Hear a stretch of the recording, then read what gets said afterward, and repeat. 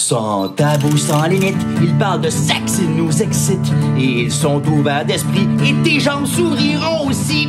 Un podcast instructif, à la fois provoquant, qui va t'apprendre des mots que tu sais pas écrire comment. Une expérience auditive sexorielle. Les sexcentriques te parlent de la vie sexuelle.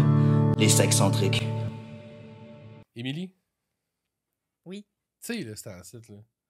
Il t'a une énorme, une énorme, genre, vague de dénonciation, là. Puis, tu sais, ça se fait de façon, ben, je vais dire public, là, mais tu sais, ça se fait sur les réseaux sociaux. Puis, tu trouves, comme, toi, tu trouves ça comment? Moi, là, OK, tu veux vraiment savoir mon opinion? Ouais. Je suis plus capable. Je suis plus capable. Je veux plus. Je veux même. Genre, j'ai peur d'ouvrir mon téléphone, savoir c'est qui qui va être accusé de quoi. Ça n'a même plus de bon sens. Pour des niaiseries en plus, souvent. C'est incroyable, hein? Colin. Puis, tu sais, je me dis tout le temps, c'est quelqu'un qui est pas populaire, là. Ça y arrivera jamais. La personne qui est pas populaire est en prison. Bon, bienvenue, Michel, à Ah, notre bienvenue, émission. Oui, on a Michel avec nous, Hey! la mémère de Sexpert. Yes! On a réinvité Michel. Oui, parce que Michel, elle a beaucoup d'opinions, puis on trouvait que ce sujet-là collait avec elle, puis euh, elle je suis sûre qu'elle a plein, plein de choses à nous dire à, à ce, à ce propos-là. Ben oui. Toi, qu'est-ce que t'en penses? Ouais. Ben, la personne qui est pas connue est en prison. Penses-tu? Tu sais, si on regarde des cas comme, OK, là, je vais nommer des cas qui ont été acquittés présentement, qu'ils ont encore des dossiers qui, qui, qui- qui vont passer éventuellement dans des tribunaux. Exemple, Gilbert Rozon, pour ne pas nommer de nom. Il a été acquitté présentement euh, d'une poursuite, justement, pour inconduite sexuelle. Euh, s'il ne savait pas appeler Gilbert Rozon, s'il s'était appelé Roger Tremblay, exemple, fort probablement qu'il n'y aurait pas eu les mêmes moyens pour se défendre et ces inconduites sexuelles, s'il y a lieu, parce qu'il faut, faut faire attention à ce qu'on dit, s'il y a lieu d'inconduite sexuelle, fort probablement que maintenant, il serait incarcéré. Mais qu'est-ce que tu en penses du fait que si c'était pas Gilbert Rozon, sans nommer de nom, que tout le monde s'en serait foutu de le dénoncer? C'est sûr. Comprends-tu? Oui. Éric Salvaille, sans nommer de nom. Mhm. Hein, on va parler d'Éric Salvaille pour le fun. Le gars qui l'accuse, puis tu sais, don't get me wrong, là, je suis full avec les victimes. là. Si victimes il y a. Là. Mais c'est arrivé il y a 30 ans, le gars était zéro connu. 30 ans plus tard, là, finalement, il- c'est la, la top vedette du Québec en animation. Puis là, tu ressors. Je me garde une réserve. Me garde une réserve. Pourquoi t'as attendu tout ce temps-là? T'as fait un cheminement sur toi? Il y a un cheminement en tant que victime, je crois, qui se passe avec les années, avec le travail sur soi. Je sais parce que j'ai vécu différentes choses dans ma vie aussi. Euh, des fois, euh, ce que tu pensais que c'était correct à l'époque, maintenant, justement, parce qu'il sort des cas comme ça, tu, tu fais comme une remise en question, puis tu fais comme, oh, attends un peu, ce que j'avais vécu dans le temps, c'était peut-être pas correct, c'était peut-être pas sain. Oui, mais euh, c'était. tu Est-ce que fait vraiment je beaucoup poursuivrais? plusieurs- Peut-être oui, pas. c'est ça. Que ça fait vraiment beaucoup, plusieurs années. OK, qu'est-ce que tu fais avec ton passé rendu là? Tu n'as pas été capable de prendre action sur le coup parce que sur le coup, c'était. T'étais pas capable, t'étais figé. Il y a plein, plein, plein, plein, plein de raisons. Tu peux euh, être- avoir été victime euh, des traumatismes. puis- Fait que c'est ce qui t'a empêché de réagir. Mais par exemple, tu es supposé de savoir la différence entre le bien et le mal quand même. Puis Oui. tu aurais dû réagir avant que ça fasse 30 ans, mais ça. Mais y a- y a- je sais qu'il y en a beaucoup, beaucoup, beaucoup là, qui, moi, moi, qui décident tue, de, de, de- guérir de ça en parlant ouvertement. Moi, ce qui me tue, là, honnêtement, c'est que on a un système de justice qui a été mis en place, OK, par nos pères. OK, quand je dis père, c'est P-A-I-R-S. Mhm. On parle pas de patriarcal ici, là, parce que ça, c'est un autre mot que je suis plus capable d'entendre, OK? Mais, tu sais, ça a été fait pour ça. Ça a été fait pour, justement, être jugé par ses pairs puis être capable de dire on a un système de justice, le gouvernement s'en mêle, il y a de l'argent qui est mis là-dedans. On peut-tu arrêter de dénoncer sur Facebook, sur Instagram? Ça, là, ça s'appelle la diffamation. OK? Big time. Puis ça, là, mais non, là, c'est arrivé dernièrement, là, on le sait, là. Mais Oui, OK, je vois ce que tu veux dire. là. C'est vraiment. De, de- les gens dénoncent sur Facebook au lieu d'appeler la police pour faire ouvrir un dossier là, Tu sais, pour vrai, d'enquête. tu scrapes la vie de quelqu'un, OK? Parce que cette Puis après ça, pour pas l'accuser, Exact. C'est ça mon point. C'est que tu veux faire un, un gros, une grosse petite vague de Mongols. Bravo. T'as-tu porté plainte à la police? C'est ça, parce que la, la chose normale à faire, je le sais, je suis dans une procédure avec ma fille, justement. Puis, euh, euh, la, la façon que ça s'est passé, ça a été le dossier à la police. Puis ensuite de ça, là, les, les tribunaux, puis tout ça s'ensuit. Mais depuis que le dossier est ouvert à la police, on n'a pas le droit d'en parler sur les médias sociaux. Il n'y a personne qui a le droit d'en parler non plus, puis d'entrer en contact avec elle, de proche, de loin, là. Fait que c'est super sérieux. Pourquoi que les choses se font pas comme ça? Normalement, tu sais, les gens vont dénoncer sur Facebook, ben, il devrait avoir quelque chose, je pense, une sanction pour la personne qui fait ça sur En, Facebook. en fait, là, Parce tout- que on sait jamais si c'est vrai aussi ou si c'est de la si c'est pas vrai. en fait, la diffamation, ça devrait Oui. être criminel. Oui. OK? Ça devrait être criminel. Pour vrai, tu veux faire la diffamation? Pas de trouble. Moi, je vais lever plainte contre toi pour diffamation. Parce qu'il y en a qui le font, on le sait, juste pour salir une réputation. Ah. Puis ces gens-là, ils n'ont pas de sanction. Mais il y a des, vraiment des personnes que c'est vraiment vrai, c'est passé telle situation, puis c'est inacceptable. Puis au lieu de, de le faire correctement, à ouvrir un dossier à la police, ben, Ben, ils je trouve- le cœur sur Facebook pour que tout le monde sache qu'ils font pitié. Mais je trouve que c'est ça.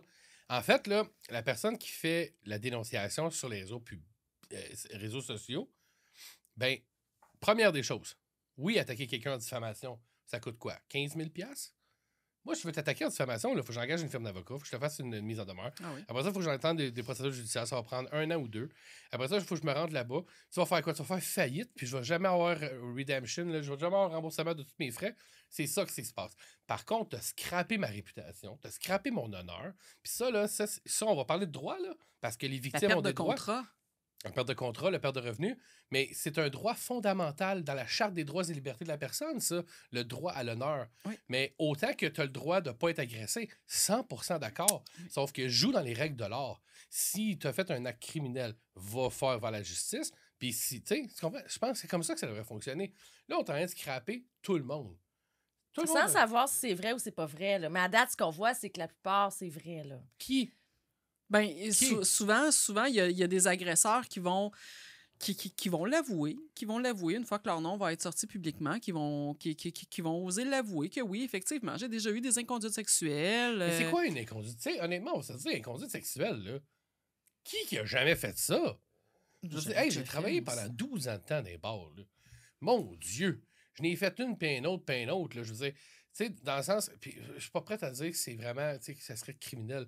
Mais hey, je deviens populaire demain matin, soudainement, là, Ben, on peut venir me scraper, toi. ben, chose. je t'annonce que demain, tu rentres pas travailler, tu as perdu ta job. Tu T'imagines? T'imagines? Je perds ma job. Parce, pourquoi? Parce qu'un soir, hostie, j'étais bien chaud. Je pensais qu'elle m'avait fait un clin d'œil, la fille, hostie, puis je l'ai frenché. Oh, sans son consentement. Hey, ça, c'est un autre mot, je suis plus capable, Chris. Excuse-moi, est-ce que je peux te frencher? Ben, exact. Là, il faut que je lui demande. C'est drôle parce qu'il y a une humoriste, ça- là, je vais vraiment pas nommer de nom, qui a fait un beau euh, TikTok. euh, sur, justement ça, tu sais, comme quoi que elle était tombée enceinte, puis que là, elle voulait faire, se fait avorter, puis plus tard, puis elle raconte sa vie, tu sais, puis j'ai trouvé ça beau. Pour vrai, j'ai trouvé ça vraiment beau. Mais elle parlait de consentement. Sauf que dans le bout du vidéo que j'ai écouté, le gars, il dit, mettons, ouais, tu sais, euh, moi, j'avais de la misère à bander, parce qu'il y avait un, qui a un condom, puis c'est un- c'est un- quelqu'un qui, a- qui voyé si longtemps, depuis longtemps, excuse. Puis il a dit, ben écoute, si je l'enlève, c'est sûr que je vais, je, vais plus. Puis, comme elle a dit dans la vidéo, c'est effectivement vrai, c'est ça qui est arrivé. Puis là, il a dit, ah, tu sais, juste. Puis elle a dit, OK. Moi, OK, c'est sonne comme oui, là. Oui, ça sonne comme consentement. là. Ben oui. Bon, pourquoi tu viens t'en plaindre aujourd'hui, là? Mais un oui peut devenir un non en cours de route. Je suis d'accord. Oui. Ouais, exact. Sauf que, oui, je suis d'accord. Je suis 100% d'accord avec toi que ça peut donner. Mais elle n'a pas dit non dans son vidéo. Elle avait jamais dit non. Là. Ouais. Il est arrivé un accident, fine. Elle n'a pas nommé non, elle n'a pas fait de diffamation. Puis bravo à cette personne-là. Tu comprends? Là-dessus, je suis vraiment- Mm. Tu as raconté une partie de ton histoire, puis des gens peuvent s'y rattacher. Fine. Sauf que ça devient un peu too much. Là, je regardais une autre vague qu'il y a eu avec euh, ces deux femmes, hein, sans nommer de nom, là, deux femmes. Mhm. Ils vont-tu la laisser travailler un jour, cette personne-là? Comme on parlait tantôt, et tu, tu veux quoi? Tu sais, je veux dire, en, en tant que victime, qu'est-ce que tu veux qui se passe avec cette personne-là? Est-ce que tu veux qu'elle travaille plus jamais? Est-ce que tu veux qu'elle se ramasse sur le BS? C'est quoi que tu veux? Tu sais, je veux dire, tu l'actionnes pas publiquement dans les, devant les tribunaux. Là. Tu sais, je veux dire, tu portes pas plainte devant les tribunaux contre cette personne-là. Tu Mais ternir une réputation, ça fait Ben, très ternir une réputation, je pense que la, la, la, la, la, la- la personne s'est auto-ternie elle-même. Personnellement, c'était un auto-sabotage. personnellement, que je trouve, que je considère. Sauf que, est-ce que de la minute où ce que tu décides que tu ne portes pas plainte, de la minute que tu décides que tu t'en vas pas porter des actions en, ju- en justice, ça devient de l'acharnement, là. Tu Ben t'acharnes sur, sur, sur la personne qui veut obtenir des contrats, qui veut travailler, qui veut mettre de la bouffe sur sa table. Puis il y a- il y, a aussi il y a le, le bout là, de sous-entendu, de que c'est pas clair aussi, euh, des. euh, tu sais, admettons qu'il se passe quelque chose là, avec toi ou peu importe n'importe qui. Là. OK, un exemple. Puis, euh, tu c'est pas clair. Tu on n'en a pas vraiment parlé. Puis, il se passe quelque chose que tu fais tu me rentres d'un fesses, mettons, sans avoir eu mon consentement. Puis moi, je t'en parle pas, puis euh, je m'en vais sur les médias sociaux. Hey, lui, là, c'est un tabarouette. euh, il, f- il, me- il a fait de l'anal avec moi sans me le demander. Puis. euh, mais tu sais. Ah, mais il a juste passé tout droit une fois. Non, non. Oui, Non, non, mais- non, non, non, mais c'est. Tu sais, elle pourrait, la personne, retourner vers lui, lui dire Écoute, regarde, la dernière fois, il s'est passé ça, j'ai vraiment pas aimé ça. Là, il va dire Ah oui, hey, je m'excuse, je pensais que tu étais ouverte. Puis, euh, tu sais, si, si- mais tu sais, s'il n'y a pas d'excuse qui est fait, OK, puis si la personne nie tout ça, OK, peut-être, OK, c'est- c'est bo- c'est vraiment une agression, mais sinon. euh, Non, mais ce qui va arriver, puis le retour du balancier, c'est que tous les hommes, ce qu'ils vont faire, ils vont se faire faire un beau contrat. Ils vont Ça va devenir femme, comme des contrats Tiens, soumis. Oui. Signe. Signe ici. Moi, j'ai une preuve, tu peux pas revenir contre moi. Quelles sont exact. tes limites? Exact? Quelles sont les. quel- où est-ce que je veux aller? Coche tes limites. Mhm. Comme un contrat dominé soumis. C'est hallucinant, là. Mais on n'aura pas le choix de se rendre là parce que les réseaux sociaux, ça, autant que ça a du bon que ça a du crissement du mauvais. Je suis saturé de ça. Plus je vis, plus je n'ai. Ah, si je n'ai rien à foutre. Puis je vais de moins en moins sur Facebook. Personnellement, je vais aller voir, je crute, mais mon Dieu, je vais me concentrer sur ma job au lieu de me concentrer là-dessus. C'est rendu que TVA Nouvelles a des meilleures nouvelles que fucking Facebook. Là. Ouais, ben il y a des gens aussi qui ils adorent ça, jouer à la victime. Ah ouais. Ils sont des victimes, puis ah, tu m'agresses, puis c'est ça. C'est des mots percutants. Oui. qu'ils vont utiliser pour justement t'atteindre. Tu sais, à un moment donné, là, il faut pas faut arrêter de, de un, s'acharner sur les gens. Tu sais, que, que, que celui qui a jamais péché me lance la première pierre. Là, tu sais, je veux dire, je veux pas être devenir religieux aujourd'hui, mais C'est parce qu'il y a un système de justice en place, puis c'est à eux de régler les choses. C'est pas euh, aux voisins, à notre voisine, à notre collègue de travail, puis d'étaler la vie privée de même sur les médias sociaux. C'est pas à l'opinion publique de Non. juger. Exactement. C'est à notre système de justice. Puis oui, ils prennent des décisions des fois qui plaisent pas à la société, mais habituellement, ils font quand même leur job. là. ben, ils sont justes, en fait, puis ils voient la preuve, puis ils regardent, puis il faut qu'ils rendent un jugement face à ce C'est qu'ils à voient. eux de faire l'enquête, puis avant que ça sorte. Exact. Tu sais, je veux dire, on a un, on a un bureau qui s'appelle le DPCP, le directeur des poursuites criminelles et pénales, Mhm. qui sont justement très habilités pour trancher le, le, le- le- le- le système de justice canadien et le système de justice québécois. Ils sont capables de, de faire preuve de lumière sur qu'est-ce qui, qu'est-ce qui passe, qu'est-ce qui passe pas, et accumuler les preuves pour apporter ça devant une cour de justice. C'est pas, tu sais, je veux dire, Facebook sera jamais un, un bureau du DPCP. Je crois Ben que non. les gens qui font ça sur Facebook, se faire justice eux-mêmes, là, c'est justement, regarde, euh, je veux la lumière sur moi, puis je veux ternir sa réputation, je veux faire mal, euh, je veux me venger. C'est de la vengeance, je crois. Et non. L'acharnement. Oui, aussi. Et non pour faire euh, Eh, mais justice. Ça m'amène à un autre point. Puis je sais pas si vous êtes d'accord avec moi, puis ça va devenir chaud, j'aime ça. Mais tu sais, autant qu'on va dire que les hommes vont être, des, vont être violents physiquement, Mhm. les femmes sont violentes aussi, Psychologique. psychologiquement. Qu'est-ce que c'est détruire la réputation de quelqu'un? C'est de la psychologie. Je veux rentrer dans ta tête. Je veux te faire mal. Je veux, sans te toucher. Et la dénonciation qu'on voit toutes dernièrement, puis je- je- les féministes, écrivez-moi, ça va me faire plaisir. C'est toutes des femmes, là. C'est vrai que c'est en grosse partie des femmes. C'est vrai. Fait que, tu sais, ça reste que moi, si j'ai un enfant, elle se fait violer, ma fille, elle se fait violer. Moi, je, je défigure. tu sais. On l'a tout dit en tant qu'homme ou en tant, en tant que parent. Je suis pas parent, mais si c'était le cas, j'essaie de m'imaginer. Je, je, je, je- je suis Tu vois, ça serait physique. Je n'irais pas l'écrire sur Facebook. Ah, lui, c'est ainsi, lui, c'est Non, ainsi. moi aussi, ça serait physique. Tu comprends? Mais Ben, moi, j'ai retenu le père pour pas qu'il fasse ça. Ah oui. Parce que là, on est en procédure, puis il va se passer ce qui a à se passer. Il est en prison, il va avoir la sentence. s'il aurait fait ça, lui aussi, il serait en dedans, Ben son oui. père. Fait que j'ai j'ai pas laissé faire ça. Ben non, mais exact, parce que toi, tu l'as arrêté parce qu'il y aurait eu une conséquence légale face à ce qu'il a fait, parce que ça deviendrait criminel, ce qu'il fait. Moi aussi, je, voudrais, je voudrais le voir pourrir. Ben oui, ben oui. Mais- ben oui. On a un système de justice, là, puis regarde, euh, il, Donc- il va avoir sa sentence. Donc, la euh, diffamation, c'est une forme, pour moi, de violence psychologique qui s'apparente à la violence physique, de vouloir blesser quelqu'un. Puis Ouais. si ton but, c'est de blesser quelqu'un, c'est pour moi, c'est criminel. Mais parce que c'est des mots et c'est des écrits, ce l'est pas. Je pense que notre système de justice doit être revu à ce niveau-là. Mais je pense que ça prendrait des contre-poursuites aussi. Tu sais, exemple, dans, dans, dans, dans le, dans le con qu'on parlait, les deux femmes, euh, pourquoi, pourquoi la- l'agresseur ne poursuivrait pas pour acharnement? Elle devrait. la victime. exactement. Elle devrait. Je pense qu'on va passer un rendu là. Mais là, on a rendu là, ça devient, ça, ça ça, devient ouais. de On peut l'acharnement. pas donc- excuser les agresseurs. Non, là, non, non, aucunement. Faut pas que du les tout, gens du tout, du tout, du tout, du tout, du tout, du tout. Mais, Mais, si, ouais. si, si la victime n'est pas prête, elle, personnellement, dans son cheminement personnel, d'aller porter plainte en bonne et due forme, puis qu'elle s'acharne, puis qu'elle s'acharne, puis qu'elle s'acharne, puis qu'elle s'acharne, je crois que, personnellement, ça pourrait peut-être... Mais premièrement, là, mettons que toi, là, t'es victime, OK? Mhm. Que la première chose que tu dois faire, je pense, c'est, euh, au lieu d'en parler sur les médias sociaux, c'est d'aller voir le CAVAC. Mettons de ta région, il y en a dans toutes les régions. Tu vas voir le CAVAC, ils vont t'accompagner. Ils vont, ils vont pouvoir faire la lumière avec toi. Euh, est-ce que tu dénonces, est-ce que tu dénonces pas? Puis euh, là, ensuite de ça, là, tu feras ce qu'il y a à Est-ce faire. qu'il y a place à porter plainte ça. pour agression? Puis qu'est-ce que ça peut faire si Ouais. je mets ça sur les médias sociaux? Hmm. Hein? Je pense que la personne peut revenir contre toi. Ben oui. En fait, tu peux revenir Oui, oui. contre elle pour euh, diffamation, atteinte à la réputation, atteinte à l'honneur. Non, mais mettons, c'est vrai en plus de l'agression. Ah, Que ça soit vrai ou pas vrai, tu n'as pas le droit de faire ça. Tu peux revenir contre quelqu'un, même si quelqu'un est un agresseur puis qui se fait diffamer sur Facebook, il peut revenir contre la personne qui l'accuse d'agression, même s'il est coupable. Puis les gens qui dénoncent des crimes que des autres.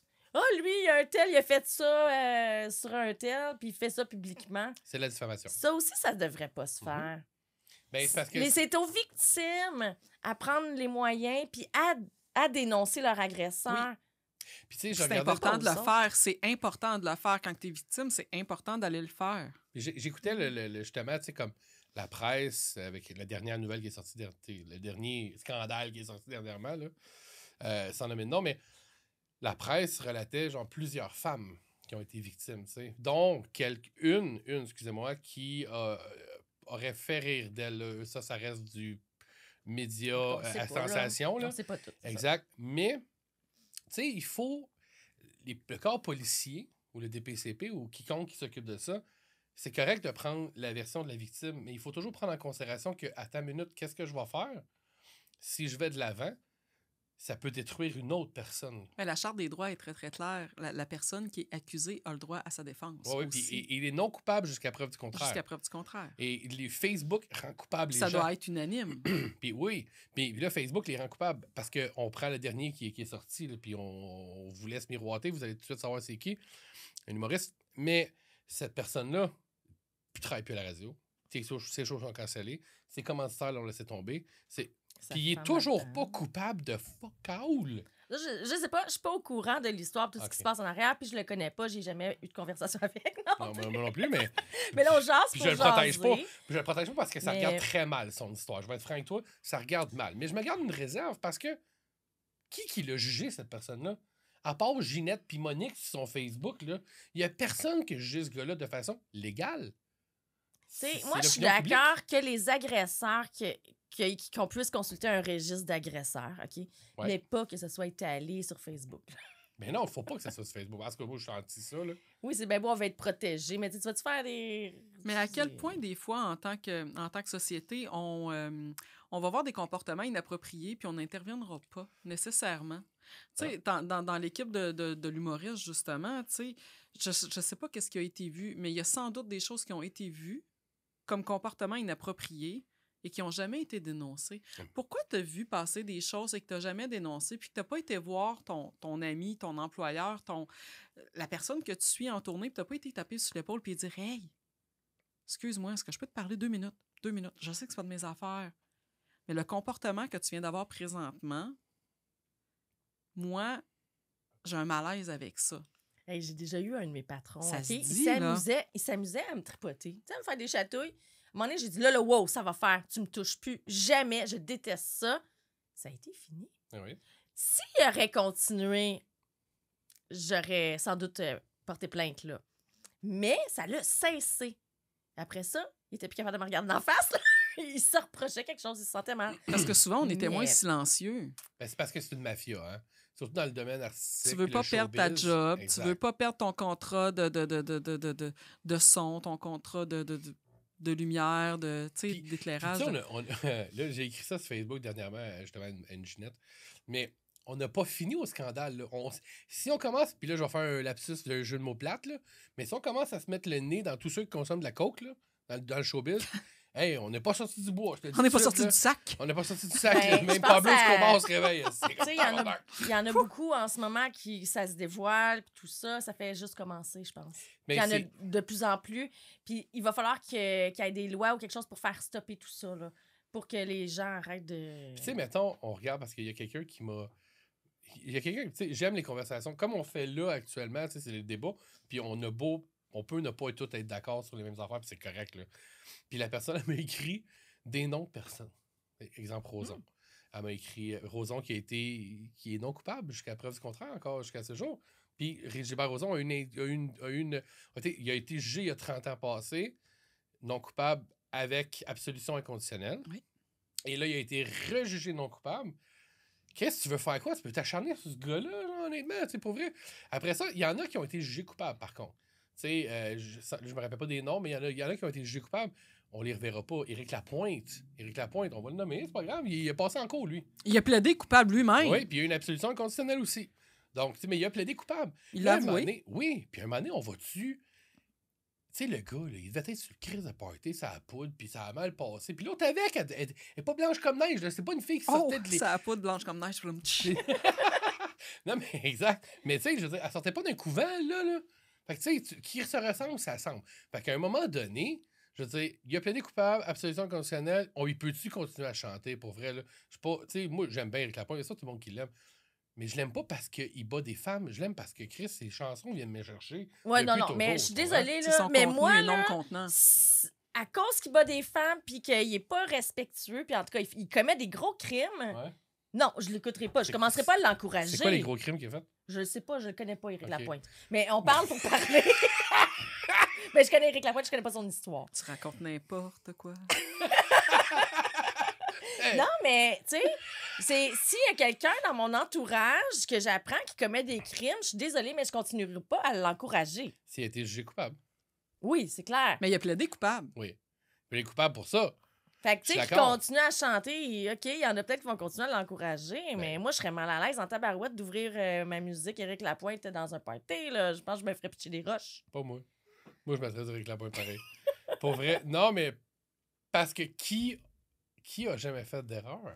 Non, mais ça dépend quel genre d'erreur, là. Euh, je sais pas qu'est-ce qu'il a fait. Il a pas là. battu à mort, là. OK, je sais pas c'est quoi qu'il a fait. Non plus. Mais- Il a rentré dans le mur puis il a sacré une claque ou un comme euh, je tu sais drogues quelqu'un à son insu, puis tu, tu y rentres euh, ta d'accord. bisoune dans la face, euh, dans, dans la bouche.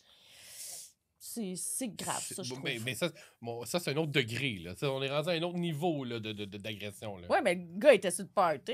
Lui, il pensait bien faire. de- de- pour- Il pensait que- tu voulu sa graine dans le fond de la gorge. Ben oui. Ben, tu sais, c'est sûr que ça fait 15 minutes qu'il se fait sucer, puis qu'après ça, il a fait ça. Hey, Bruit de criquet. Peut-on avoir des bruits? Ça créé un malaise. Ça a marché.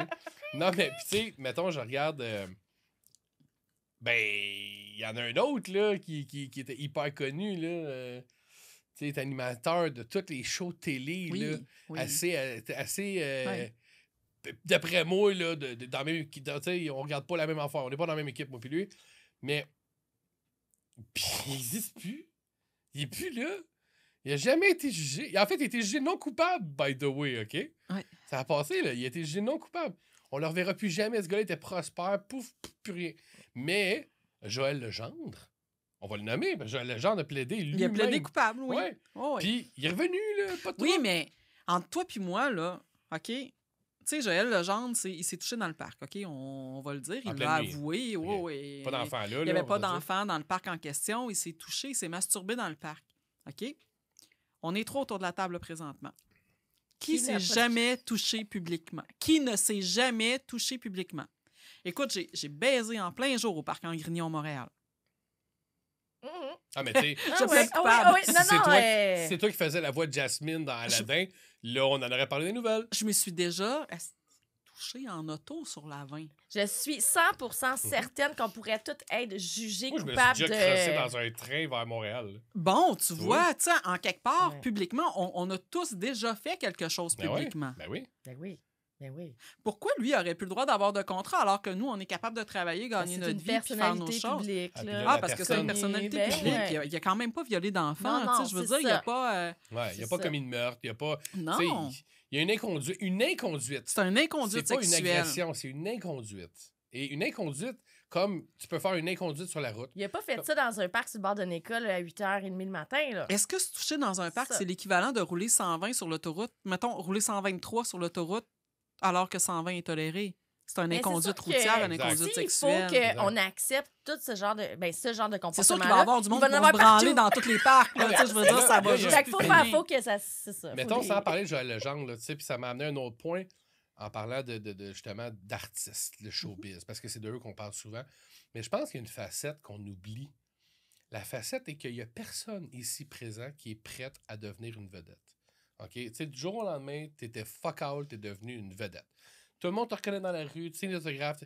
Puis tu, tu vis dans le jet set aussi, tu sais, des vedettes. Tu rencontres d'autres vedettes. Puis tu veux être à ton meilleur de toi-même. Puis là, ben, tu vas consommer un petit peu de coke ici et là parce que tu as pris trop de shooter puis tu vas pas perdre la face. Puis là, ben, Chris, c'est sûr que la coke, ça donne le goût de faire un petit peu. Tu sais, t'es- tu te sens plus. Mais moi, j'ai connu des filles, là, ils étaient cochonnes, ça a pas de big time. Ça se peut, je mords d'une cuisse, moi, avec après une Non, mais tu comprends, mais mon point, c'est. Moi, je suis pas sûre, prête là, que, que les vedettes, là, OK, il y a du monde qui profite de la situation que, que tu es une vedette pour provoquer des situations. Ben oui. C'est sûr. Pour te faire, Mhm. euh, par jalousie Mais, ou... oui, euh, mais fais, fais juste penser, Émilie, tu sais, je veux dire, quand on est jeune, on, on fantasme sur quoi, nous autres, les filles? Tu sais, je veux dire, moi, Patrick Bourgeois, là, euh, Ah, il, il m'a fait mouiller mes sexy, hein. culottes, là. Vraiment. Tu sais, je veux dire, on, on- on va dire les vraies choses, on va les appeler par leur nom, là. Tu sais, je veux dire, je me suis touchée en pensant à Patrick Bourgeois. Hey, j'ai déjà rencontré, moi. Pour vrai. Comme comme, ah, La chaise à Ligouline, là! attention, je ramasse ma flaque. Vrai. mais euh, non, mais puis c'est drôle, tu me dis ça, j'ai vraiment un flash. Mais non, mais tu sais, je veux dire, les, les, les gars, tu sais, je veux dire, quel, quel gars dans la quarantaine n'avait pas un poster de Samantha Fox sur son mur yeah. de chambre puis qui s'est pas masturbé, en checkant Samantha Fox? Moi, c'était Britney Spears. OK, toi, t'es de la génération Britney Spears? Non, mais Samantha Fox, c'était fucking hot aussi. Hey, ah, t'avais des Mais gros jamais- seins, Ouais, mais moi, je- Je suis pas, formes. ouais, je suis pas un homme à sein, moi, tu sais, je suis un homme à fesses, mais Britney Spears était dans la même époque où Backstreet Boys prenait beaucoup trop de place. puis fuck, elle, elle est arrivée avec son petit Chris. Hey, sa camisole blanche. Oui, puis son petit euh, Hey, G-string qui dépasse de ses jeans. je suis je vois Ah. encore les nipples esti, dans la vidéo YouTube. Je regarde. c'est fourrade. Non, mais tu sais, oui. Mais ouais, on l'a tout fait. Tout le monde. Puis c'est parce que c'est devenu tellement.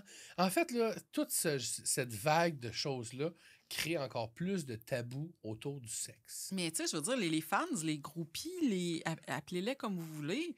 Tu sais, je veux dire, euh, calvaire, moi, Patrick Bourgeois, là, tu sais, je veux dire, j'étais, j'étais jeune, là, j'étais vraiment jeune, mais il m'aurait proposé, puis j'aurais sans doute été, tu sais, parce que justement, c'était un fantasme de petite fille. Je le voyais, je le trouvais donc beau, il me faisait saliver, il me faisait mouiller, tu sais. Mais on est combien comme ça, tu sais? Ben, c'est de l'abus de pouvoir. Ben, Après coup, est-ce que ça aurait été correct de baiser, tu sais, mettons, j'a- j'a- j'avais 13 Oui, ans mais à t'étais consentante, c'est clair. C'est juste Oui. que profiter de la situation. Mais tu vas-tu revenir contre lui à Non. cause que. Non. Hey, c'est l'expérience de ta vie. Mais OK, mais là, si tu tombes en amour, puis t'es une maudite folle, puis là, lui, il est pas en amour avec toi, là, tu t'achantes dessus, c'est clair. Non, mais moi, pour Ouais. vrai, Mais là. Il y en a plein des... du monde de même. C'est Moi, ça. moi, honnêtement, moi, si Marie-Pierre Morin me mord le dedans de la cuisse, moi, je dis pas un mot. Tu lui donnes ton pénis. Ben, pff, hey, elle peut conduire juste à mordre dedans de la cuisse, c'est pas grave. moi, ça- c'est pas. euh, Non, mais tu sais, pour vrai, on est sur le pow-wow un soir de vedette. Bon, moi, je sais pas qu'est-ce que je faisais là. Mais tu sais, on est là-dessus. Ça fait deux, trois bars qu'on se fait sur un coin de table avec Eric Lapointe, tu sais. Puis. puis- Tout un trio. non, mais tu sais, puis, puis là, ça donne que. Elle est là, ah, toi, Chris, assis, tu donnes un coup de fesse, là, même, puis si je suis assis, puis elle vient mordre là-dedans. dans la cuisse. Tu peux être sûr, là. Marie-Pierre, je te le dis, là, moi, je te stoule pas. Moi, je suis sûr que je te saoule pas. N'y a pas d'histoire là Puis je pense qu'il y a une histoire de cage. Tu vas tenir les cheveux. Je me regarde, moi, il n'y a pas de trouble. Je vais même lever ma- mon short que tu puisses avoir accès direct à la cuisse. Vraiment pas de problème avec ça. Non, mais tu sais, je peux comprendre. Puis là encore, là, je vais faire l'avocat du diable parce que, tu sais, moi, ça me dérangerait pas. Mais c'est pas parce que moi, ça me dérangerait pas que tout le monde. C'est pas parce que toi, ta barrière est pas là que c'est pas la barrière de quelqu'un Ben, d'autre. parce que moi, Marie-Pierre Morin, ça serait clairement un fantasme. Mais je peux comprendre qu'il y a des gens qui peuvent être, mettons, mal à l'aise face à certaines situations. Fine. T'en as-tu parlé avec la personne? Mais est-ce que ton. Tu sais, ça, ça revient à ce que je disais tantôt, c'est que ton oui d'avant peut devenir un non à tout moment. Ouais, ça, euh, ça faudrait rectifier ça un jour. Pas vrai. Je suis d'accord. Puis tu as 100% raison que sur le coup, ça me tente. Puis après ça, pendant qu'on le fait, ça me tente plus, il faut arrêter. Je suis 100% d'accord. Puis je l'ai déjà dit dans un autre podcast. Moi, je suis en train de baiser avec quelqu'un, puis j'ai l'impression que ça ne tente plus, j'arrête. Pour ça que tu me dises non, je sais que c'est un non. là. Moi, je sors de là, je dis, hey, arrange-toi tout seul, m'arranger tout seul, m'en aux toilettes. Mais tu comprends? Sur ça, faut jouir. Ah non, pas déjà. Ouais. OK. Mais Marie-Pierre. Non, non, c'est pas vrai. Fait que, hein, on peut mentionner ce podcast, c'est un podcast de divertissement. Oui, ben Les oui. gens euh, qui ont été nommés euh, n'ont pas à se sentir visés. C'est Non. vraiment euh, une jasette amicale qu'on faisait. euh. Un Non, ben, simple débat au niveau c'est du un- Ben consentement. oui, c'est exactement. Un petit talk entre nous autres. Moi, je suis très consentant, On- Marie-Pierre, je sais pas de quoi.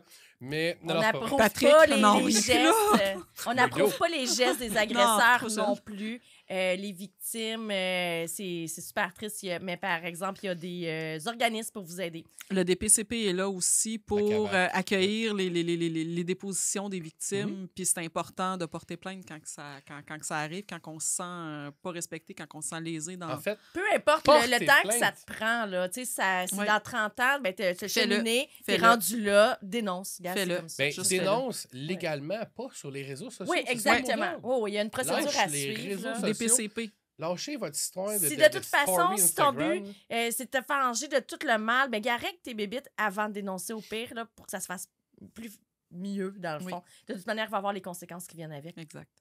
3, 2. Oh, attends une minute. Marie-Pierre. Y a T'as quelqu'un qui m'a demandé numéro de si- y a quelqu'un qui m'a demandé si j'étais consentant?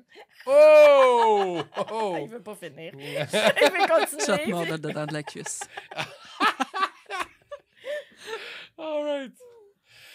Ah. Ah! Attends, on recommence parce que Michel, on l'entend pas. OK, 3, 2, 1. Ah! merci, Michel. Voilà! Les sexcentriques.